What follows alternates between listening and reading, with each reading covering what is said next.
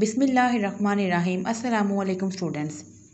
आज जो हमने प्रैक्टिकल करना है, वो क्या है? Determination of melting point of an organic compound हमने किसी भी ऑर्गेनिक कंपाउंड का जो मेल्टिंग पॉइंट है, वो हमने क्या करना है? डिटर्मिन करना है। तो इसमें हम कौन सा ऑर्गेनिक कंपाउंड ले रहे हैं?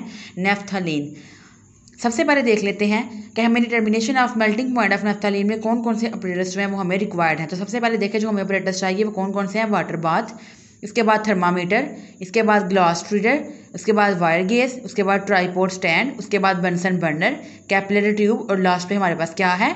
थ्रेड। तो सबसे पहले केमिकल्स देख लेते हैं कि इसमें हमें कौन कौन से केमिकल्स रिक्वायर्ड हैं? वाटर उसके बाद ऑर्गेनिक कंपाउंड जो हम क्या ले रहे हैं? नेफ्था लीन उसके बाद देखते हैं प्रोसीजर प्रोसीजर में देखते हैं सबसे पहले देखें take about three centimetre cube long capillary tube sealed at one end हमने क्या करना है? थ्री सेंटीमीटर हमने लॉन्ग कैपलरी ट्यूब लेनी है, जो एक एंड से क्या होगी? सील होगी. उसके बाद देखें fill about one centimetre portion of a capillary into provided naphthalene हमने नेफ्थलीन में जो वन सेंटीमीटर है, हमने उसमें क्या करना है? नेफ्थलीन को फिल करना है. उसके बाद देखें tie capillary tube with thermometer with thread note एक beaker of two fifty centimetre cube and add hundred centimetre cube water into it अब हमने क्या करना है? हमने कैपिलरी ट्यूब ले ली, उसके कैपिलरी ट्यूब का हमने थर्मामीटर को क्या कर दिया थ्रेड के साथ टाई कर दिया। अब हमने क्या करना है बीकर लेना है 250 सेंटीमीटर क्यूब का, और इसमें 100 सेंटीमीटर क्यूब हमने इसमें क्या ऐड करना है वाटर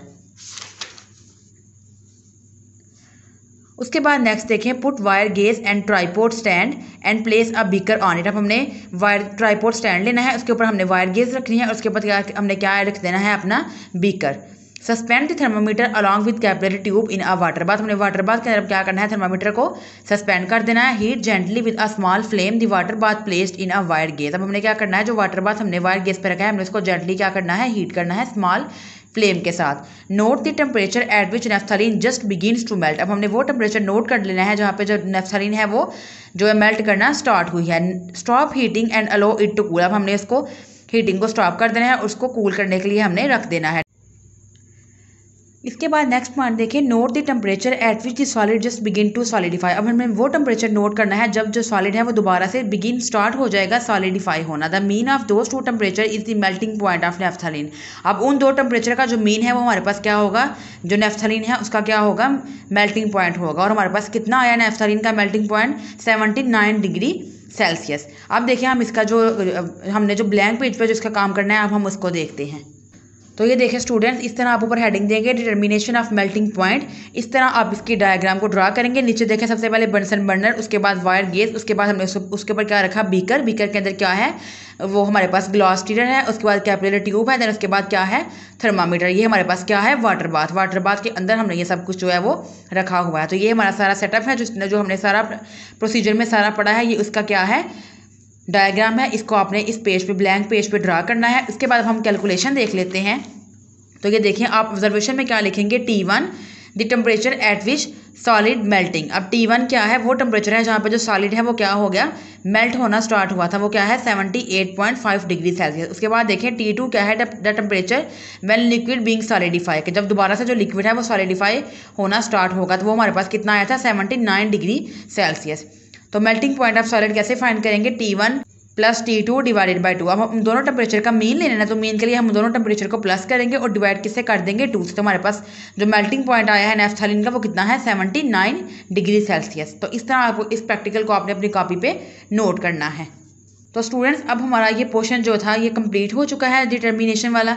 जितने भी हमने पढ़े क्रिस्टलाइजेशन पढ़ी, उसके बाद डिस्टिलेशन पढ़ा, उसके बाद सॉल्वेंट एक्सट्रैक्शन पढ़े, और उसके बाद melt determination of melting point उसके बाद हमारा जो नेक्स्ट पोर्शन स्टार्ट हो रहा है, सबसे लास्ट पोर्शन वो हमारा क्या है? आइडेंटिफिकेशन ऑफ़ ऑर्गेनिक कंपाउंड्स जो हमारा अकॉर्डिंग टू आउटलाइन प्रैक्टिकल्स का सब, जो लास्ट पोर्शन है, वो हमारा क्या है? आइडेंटिफिकेशन ऑफ़ ऑर्गेनिक कंपाउंड्स हमें कोई भी ऑर्गेनिक कंपाउंड दिया जाएगा आपको प्रैक्टिकल के पेपर में। तो आप उस क्या करोगे? आपको कोई भी ऑर्गेनिक कंपाउंड दिया जाएगा, लेकिन आप उसका पता नहीं होगा ये कौन सा ऑर्गेनिक कंपाउंड है। आप उस पर टेस्ट अप्लाई करोगे, उसके बाद आप देन रिज़ल्ट आप ये जो है वो कंक्लूड करोगे, ये रिज़ल्ट निकालोगे कि आपका जो ऑर्गेनिक कंपाउंड आपको दिया गया था, वो कौन सा ऑर्गेनिक कंपाउंड था। तो ये जो पाँच कंपाउंड है benzoic acid alcohol amines anilines और कीटोन्स इन पर हम टेस्ट परफॉर्म करेंगे और इनको हम क्या करेंगे? आइडेंटिफाई करेंगे। तो सबसे पहले हम देखते हैं आइडेंटिफिकेशन ऑफ़ बेनजॉइक एसिड को। तो ये देखिए क्लास हम प्रैक्टिकल कॉपी से इस प्रैक्टिकल को पहले समझते हैं। सबसे पहले देखिए हमने क्या करना है? एनालिसिस करनी है किसकी? बेंजोइक एसिड की। तो देखिए इस तरह आप सबसे पहले लिखेंगे। यहाँ पे आप लिखेंगे सीरियल नंबर के हमने कितने टेस्ट हैं वो परफॉर्म किए हैं। यहाँ पे आप लिखोगे एक्सपेरिमेंट्स कि हमने कौन कौन सा एक्सपेरिमेंट परफॉर्म किया, उसकी क्या ऑब्जर्वेशन आई और हमने क्या इन्फ्रेंस उसका क्या रिज़ल्ट लिखा। तो यहाँ पे आप लिखेंगे एक्सपेरिमेंट्स यहाँ पे ऑब्जर्वेशन और यहाँ पे आप क्या लिखेंगे? इन्फ्रेंसिस तो ये देखिए, सबसे पहले हम क्या, कौन सा टेस्ट करते हैं? फ़िज़िकल स्टेट एंड कलर जो हमारे पास कोई भी अगर ऑर्गेनिक कंपाउंड आएगा, सबसे पहले आप उसको क्या देखोगे? उसकी फ़िज़िकल स्टेट देखोगे और इसका कलर देखोगे। तो देखिए, आपके पास अगर कोई भी सबसे पहले एक ऑर्गेनिक कंपाउंड आपको दिया जाएगा तो सबसे पहले आप उसका क्या देखोगे? फ़िज़िकल स्टेट और उसका कलर तो इसमें देखें अगर तो वो कलर लेस होगा और उसका जो स्टेट है वो क्या होगी? क्रिस्टलाइन सॉलिड होगा। तो आप उसमें उसका क्या इन्फ्लुएंस निकालोगे? या तो इसमें कार्बोहाइड्रेट्स प्रेजेंट हैं या acids phenols amides and anilides में भी प्रेजेंट आप इसका ये जो इन्फ्लुएंस लिखोगे कि इसमें ये सारी चीज़ें जो है वो प्रेजेंट हो सकती हैं। उसके बाद आप फिर आप उसका ऑर्डर देखोगे, उसकी जो है वो स्मेल वो किस तरह का है। तो अगर तो वो ऑर्डर लेस है तो आप बताओगे कार्बोहाइड्रेट्स एंड एसिड्स में भी प्रेजेंट अब ये सारे इसमें से कट हो जाएगी, क्योंकि जो फिनोल्स हैं, जो एनिलीन्स हैं, इनकी क्या होती है, ये, इनकी ये स्मेल होती है। और अगर वो ऑर्डर लेस है आपका कंपाउंड तो आप ये डिटेक्ट करोगे कि इसमें सिर्फ़ कार्बोहाइड्रेट्स और एसिड जो है वो प्रेजेंट हो सकते हैं। देन उसके बाद जो थर्ड वाला टेस्ट आप परफॉर्म करोगे, वो क्या है? सॉलिबिलिटी इन वाटर आप देखोगे, क्या ये वाटर में सॉलेबल है या फिर नहीं है? तो अगर तो वो इनसॉलेबल होगा कोल्ड वाटर में, लेकिन सॉलेबल होगा हॉट वाटर में तो आप क्या इन्फ्लुएंस निकालोगे? इसमें carbohydrates aliphatic acid and amides are absent और एरोमेटिक एसिड्स अमीन्स और फिनोल्स में भी प्रेजेंट ये आप इन, इसका आंसर डिडक्ट करोगे इस जो है एक्सपेरिमेंट से। जब आपके पास ऑब्जर्वेशन आएँगे तो आप ये जो इन्फ्लुएंस है, ये देख, लिखोगे। इसके बाद देखें सॉलिबिलिटी इन ईथर तो अगर तो ये ईथर में आपका जो आपको ऑर्गेनिक कंपाउंड दिया गया है अगर तो वो ईथर में सॉलेबल होगा तो आप लिखोगे मे बी एरोमेटिक कंपाउंड्स के फिर आप ये लिखोगे कि मे बी इसमें एरोमेटिक जो कंपाउंड्स हैं वो प्रेजेंट हो सकते हैं। उसके बाद आप करोगे इग्निशन टेस्ट मतलब आप उसको क्या करोगे?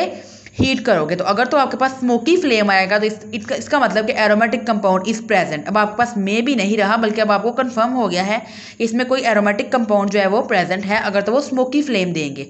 उसके बाद फिर आप उसमें डिटेक्शन ऑफ़ एलिमेंट्स के लिए कि उसमें कार्बन हाइड्रोजन ऑक्सीजन जो एलिमेंट्स हैं, इनकी डिटेक्शन के लिए आप कौन से टेस्ट परफॉर्म करोगे? सोडियम एक्सट्रैक्ट प्लस उसका रिएक्शन करवाओगे सोडियम हाइड्रोक्साइड के साथ plus ferric sulphate F E S O four के साथ. Solution boil and cool add F E C L three solution and five with dilute H C L अगर तो no blue और पर जो ब्लूइश ग्रीन कलर और PPT अगर तो आपके पास कोई ब्लू या ब्लूइश ग्रीन कलर के प्रेसिपिटेट नहीं बनते तो आप उसका क्या आंसर डिटेक्ट करोगे? उसमें एरोमेटिक एसिड एंड फिनोल्स में भी प्रेजेंट और जो अमाइड्स और अमीन्स हैं एंड एनालिड्स हैं, वो एबसेंट हैं और नाइट्रोजन भी इसमें क्या है? एबसेंट है। उसके बाद देखें sodium extract plus lead acetate solution आप क्या करोगे? सोडियम एक्सट्रैक्ट के साथ प्लस उसका रिएक्शन कराओगे लेड एसिडेट सोल्यूशन के साथ किसका? अपने ऑर्गेनिक कंपाउंड का जो आपको दिया गया है कि आपके, आप अपने गिवन ऑर्गेनिक कंपाउंड का।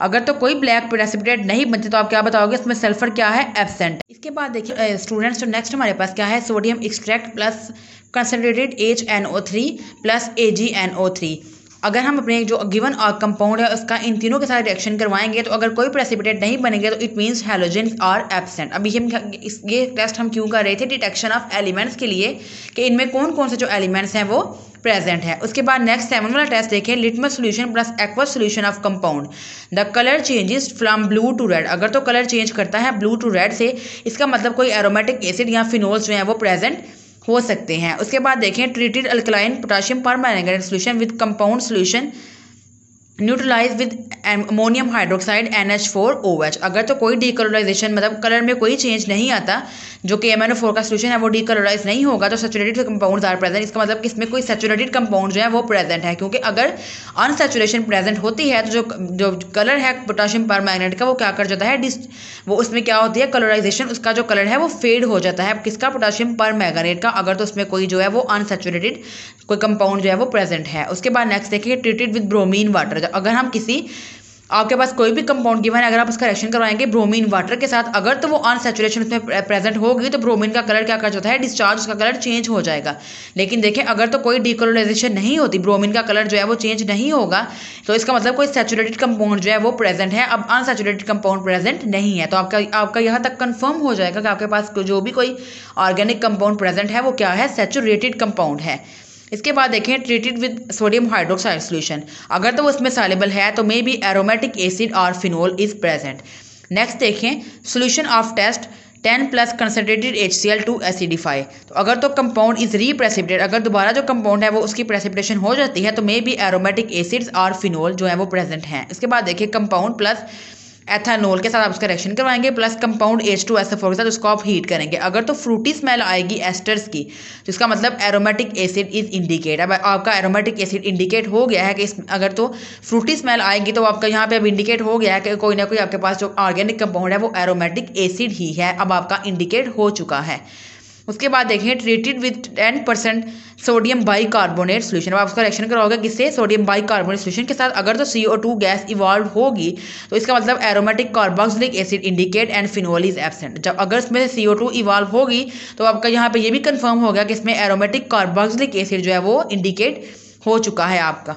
उसके बाद नेक्स्ट देखें treated with neutral F E C L three solution with compound solution neutralise with ammonium hydroxide अगर तो ब्लफ कलर जो है, वो आपके साथ बफ कलर जो है, उसकी पीपीटी अगर आपके पास बनते हैं बफ कलर के जो प्रेसिपिटेट उसकी फॉर्मेशन होगी तो बेंजाइक एसिड इज़ इंडिकेट अब आपका, आपको कंफर्म हो गया है कि आपके पास जो ऑर्गेनिक कंपाउंड है, वो क्या है? बेंजाइक एसिड इसके बाद देखें ट्रीटेड विद सोडा लाइम अगर तो vapours of benzene were given out which burn which smoky flame अगर तो आपके पास बेंजीन के वेपर्स जो है, वो बनते हैं और उनकी जो बर्न हो गए क्या देंगे स्मोकी फ्लेम देंगे तो इंडिकेट हो जाएगा कि इसमें बेंजाइक एसिड जो है वो प्रेजेंट है। आपके पास जो ऑर्गेनिक कंपाउंड है, वो क्या है? बेंजाइक एसिड है।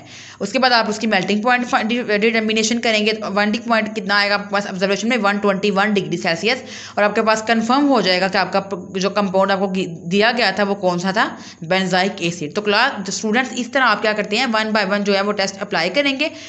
अपने जब आपका प्रैक्टिकल जो है वो आपके, जो एग्जामिनर जब आपका प्रैक्टिकल लेने आएँगे तो आप जब रिटर्न फॉर्म में इसको लिखेंगे तो साथ साथ आप इसको परफॉर्म करेंगे। ठीक है?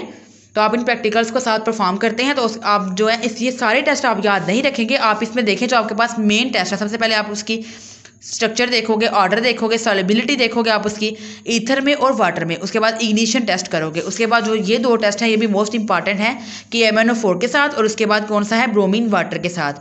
तो आप इन छः सात टेस्ट अगर आप लोग अच्छे से याद कर लेते हो तो ईजिली आप लोग जो है वो एरोमेटिक कंपाउंड को आइडेंटिफाई कर लोगे। या आपके पास कोई भी अगर कंपाउंड गिवन होगा तो आप इजीली आइडेंटिफाई कर लोगे कि आपके पास जो आपको कंपाउंड दिया गया है ऑर्गेनिक कंपाउंड वो कौन सा है। तो अब मैं आपके साथ इसको प्रैक्टिस रिटर्न फॉर्म में भी शेयर कर देती हूँ, ताकि ईजिली आप लोग इसको, आपको आइडिया हो जाए कि हम इस इसको, जो प्रैक्टिकल है, इसको प्रैक्टिकल कॉपी पर किस तरह लिखेंगे। तो मैं आपके साथ अब इसकी जो पिक्स हैं वो शेयर करती हूँ। तो स्टूडेंट्स ये देखें इस तरह सबसे पहले आप हेडिंग देंगे आपका प्रैक्टिकल नंबर जो भी होगा प्रैक्टिकल नंबर वन टू या फिर थ्री आप इस तरह ऊपर हेडिंग देंगे उसके बाद प्रैक्टिकल का जो मेन आपका पोर्शन है टॉपिक है वो लिखेंगे। देन उसके बाद आप, आपने जितने भी कंपाउंड्स को आइडेंटिफाई करना है उन सबको आप इस पेज के स्टार्ट पे पहले लिख लेंगे। उसके बाद नेक्स्ट देखें, इस तरह, अगर आपके पास इस तरह वाली प्रैक्टिकल कॉपी नहीं है, आपके पास दूसरे पेजेस हैं तो आप खुद ऊपर हेडिंग दे सकते हैं एक्सपेरिमेंट ऑब्जर्वेशन और उसके बाद आप क्या लिखोगे? इन्फ्लुएंस और इस तरह हमने किसको, किसकी आइडेंटिफिकेशन को डिस्कस किया बेंजोइक एसिड के तो हमने जितने सारे टेस्ट पीछे पड़े हैं, वो सारे टेस्ट आप इस तरह इस पेजेस पे नोट कर लेंगे। इसके बाद देखें स्टूडेंट्स उसके बाद जो नेक्स्ट और कोई भी कंपाउंड है, जब हम उसकी आइडेंटिफिकेशन करेंगे तो हमारे पास क्या है? कार्बोहाइड्रेट्स कार्बोहाइड्रेट्स में अगर आपको ग्लूकोज दिया गया है कि किस तरह आप ग्लूकोज को आइडेंटिफाई करेंगे कि आपके पास जो गिवन ऑर्गेनिक कंपाउंड है, वो कौन सा है तो आप किस तरह आइडेंटिफाई करोगे कि उसमें जो कौन सा ऑर्गेनिक कंपाउंड है, वो प्रेजेंट है? तो इसमें भी देखिए सेम ऐसे ही है, आपके पास पहले आप एक्सपेरिमेंट परफॉर्म करोगे वन बाय वन देन उसके बाद आप ऑब्जर्वेशन लिखोगे, उसके बाद आप इन्फ्रेंस लिखोगे इस तरह आप वन बाय वन जो टेस्ट हैं वो अप्लाई करोगे तो लास्ट में आपके पास कन्फर्म हो जाएगा कि आपके पास कौन सा जो ऑर्गेनिक कंपाउंड है वो प्रेजेंट है। तो देखिए इस तरह आप ग्लूकोज के भी ये सारे टेस्ट जो है, मैं आपके साथ जो है, इसकी पिक्स आपके साथ शेयर कर रही हूँ कि ईजिली आप लोग अपनी प्रैक्टिकल कापी पे इसको लिख सके कि इस तरह आप जो है वन बाय वन ये सारे टेस्ट जो हैं, इस तरह जैसे मैंने पहले आपके साथ जो है वो शेयर किया कि किस तरह आप इसको रिटर्न फॉर्म में अपनी प्रैक्टिकल कापी पे नोट करेंगे। तो ये देखिए, इस तरह ये क्या है ग्लूकोज की। ये देखें ग्लूकोज की हाफ़ टेस्ट ट्वेल्व टेस्ट यहाँ लिखे हुए हैं। इसके बाद नेक्स्ट देखें। ये ट्वेंटी वन टेस्ट हैं। तो आप ये सारे याद नहीं करेंगे जो इसमें मेन टेस्ट हैं, सिर्फ़ आप उनको ही याद करोगे। तो इसमें देखें, जो मेन मेन हमारे पास टेस्ट कौन से हैं, सबसे पहले वही physical state colour solubility water में ईथर में उसके बाद सेम देखें इग्निशन टेस्ट उसके बाद ब्रोमिन वाटर टेस्ट उसके बाद देखेंगे M N four solution test तो इस तरह के जो मेन टेस्ट हैं, ये पाँच सात टेस्ट जो है मेन मेन है, इसको आप, इनको आपने याद करना है। तो आप इजीली आइडेंटिफाई कर लोगे कि आपके पास कौन सा जो कंपाउंड है, वो प्रेजेंट है। क्लास देखें how to record the analysis of ketone ये अब आपके पास कौन सी है? कीटोन की, कि किस तरह आपने कीटोन को जो है वो आइडेंटिफाई करना है। तो ये देखेंगे इस तरह की बिल्कुल सेम एज इट इज़ देखें, इसमें भी जितने भी टेस्ट हैं, वो तकरीबन फ़र्स्ट वाले सारे सेम है। फ़िज़िकल ऑर्डर सॉलिबिलिटी वाटर में ईथर में इग्निशन टेस्ट उसके बाद वही देखें कि एम एन फोर्सुएशन टेस्ट उसके बाद ब्रोमिन वाटर रिएक्शन तो इस तरह आप इजिली जो है वो कीटोन को भी आइडेंटिफाई कर लेंगे। तो ये देखेंगे फोर्टीन रिएक्शन जो है वो कीटोन के इस पेज पर लिखे हुए हैं। इसके बाद नेक्स्ट देखें, जो कीटोन के रिएक्शन है, ये देखिए दो रिएक्शन आपके पास इस पेज पे लिखे हुए हैं। तो इस तरह आप इजीली आइडेंटिफाई कर लोगे कि आपके पास कौन सा कंपाउंड जो प्रेजेंट है बेंजोफिनोन क्या आप इजीली बेंजोफिनोन को आइडेंटिफाई कर लोगे कि आपके पास जो ऑर्गेनिक कंपाउंड आपको दिया गया था, वो कौन सा था? बेंजोफिनोन तो इस तरह आप इजीली क्या कर लोगे? आइडेंटिफाई कर लोगे कि आपके पास जो गिवन कंपाउंड था, वो कौन सा था? बेंजोफिनोन स्टूडेंट्स ये देखिए, ये कौन सा है? How to record the analysis of alcohol अब आपने किसको आइडेंटिफाई करना है? अल्कोहल को. तो सेम देखें फ़र्स्ट वाले, जो फ़र्स्ट सिक्स सेवन टेस्ट हैं, देखिए, ये भी ये भी क्या है? तकरीबन सारे सेम है. इसमें जो आपके पास आएँगे, वो आपके पास क्या आएगा? मोलिश टेस्ट इसको आपने अप्लाई करना है. ये ये अल्कोहल्स की जो आइडेंटिफिकेशन है, इसके लिए हम क्या करते हैं? इसको यूज़ करते हैं. तो देखें, यहाँ पे हमारे पास जो टेन रिएक्शन हैं, ये दिए गए हुए हैं, जो एक्सपेरिमेंट्स हैं. इसके बाद नेक्स्ट देखें नेक्स्ट ये जो हमारे पास हाफ़ रिएक्शन है, वो इस पेज पे दिए गए हैं। तो आप इजीली बाद में आइडेंटिफाई कर लोगे कि इसमें जो हमारे पास कौन सी अल्कोहल जो है वो प्रेजेंट है। इसमें देखिए, आप आइडेंटिफाई करोगे कि मैनी टोल इज़ इंडिकेटेड जो कौन सी अल्कोहल जो है वो प्रेजेंट थी मैनी टोल अल्कोहल जो है, आप उसको क्या कर लोगे? ईजिली आइडेंटिफाई कर लोगे। इसके बाद देखें स्टूडेंट्स ये किसको हमने किसकी एनालिसिस करनी है? How to record the analysis of amine अब हमने अमीन की जो है, उसकी आइडेंटिफिकेशन करनी है कि जो हमारे पास ऑर्गेनिक कंपाउंड कोई भी दिया गया है, वो कौन सा प्रेजेंट है? तो देखिए, इसमें भी जो आपने मेन टेस्ट है ना, ये आपने जो सिक्स सेवन टेस्ट हैं, इनको आपने याद रखना है। फ़िज़िकल स्टेट ऑर्डर को सेलिबिलिटी वाटर में ईथन में, उसके बाद देखें डिटेक्शन ऑफ़ एलिमेंट्स और उसके बाद जो है वो ब्रोमीन वाटर के साथ रिएक्शन और पोटाशियम पर मैगनेट के साथ रिएक्शन ये आपने जो फोर फाइव ये सिक्स सेवन टेस्ट हैं, इनको आपने अच्छे से इन टेस्ट को आप लोगों ने याद कर लेना है। इसके बाद देखिए, इसके जो नेक्स्ट रिएक्शन है वो इस पेज पे हैं। तो इस तरह आप इजीली आइडेंटिफाई कर लोगे कि आपके पास जो पैराटोलोडीन है, वो आपके पास कंफर्म हो जाएगी कि कौन सी अमीन प्रेजेंट थी, पैराटोलोडीन। के बाद देखें students how to record the analysis of anilide अब हमने एनालिड को किस तरह आइडेंटिफाई करना है तो कौन सी एनालिड प्रेजेंट है? इसमें एसिड एनालाइड तो ये देखें, इसमें भी आप खुद नोट करेंगे कि ये जो सिक्स सेवन एट टेस्ट हैं, ये सारे प्रैक्टिकल्स में जो है, ये सेम है. तो ये जो सिक्स सेवन टेस्ट हैं, इनको आपने अच्छे से याद करना है, ताकि ईजिली आप जब आपके प्रैक्टिकल आप परफॉर्म करने जाओ तो ईजिली आपको खुद याद हो कि आप अगर आप लोग पहले से याद कर लोगे तो बाद में इजीली आप वहाँ पे एग्जामिनर के सामने आप इजीली जो है कंपाउंड को आइडेंटिफाई कर लोगे। इजीली आपको जब याद होगा कि जब ये टेस्ट परफॉर्म करेंगे तो हमारे पास जो है वो कौन कौन से इन्फ्लुएंसिस आएँगे। तो इसलिए आप इन सिक्स सेवन टेस्ट को अच्छे से आपने इनको याद करना है। तो इसके बाद देखें यहाँ भी इसके जो थर्टीन जो एक्सपेरिमेंट्स हैं, वो दिए गए हुए हैं। इसके बाद देखें ये जो एक एक्सपेरिमेंट दो एक्सपेरिमेंट है फोर्टीन एंड फिफ्टीन ये इस पेज पे आपको दिए गए हैं। तो इस तरह आप आइडेंटिफाई कर लोगे कि आपके पास जो एसिड एनालाइट था, वो आपके पास क्या हो जाएगा? कन्फर्म हो जाएगा। देखिए students how to record the analysis of an amide thiourea ये इंपॉर्टेंट है, ये आपको जो है वो प्रैक्टिकल के पेपर में आ सकता है कि आइडेंटिफाई करें थायोयूरिया को। सेम इसमें भी देखेंगे वही टेस्ट जो है स्टार्ट वाले टेस्ट सेम सारे प्रैक्टिकल्स में सेम वही है कि आप लोग थायोयूरिया को किस तरह क्या करोगे आइडेंटिफाई करोगे। तो लास्ट पे आपके पास कंफर्म हो जाएगा कि थायोयूरिया जो है वो प्रेजेंट है।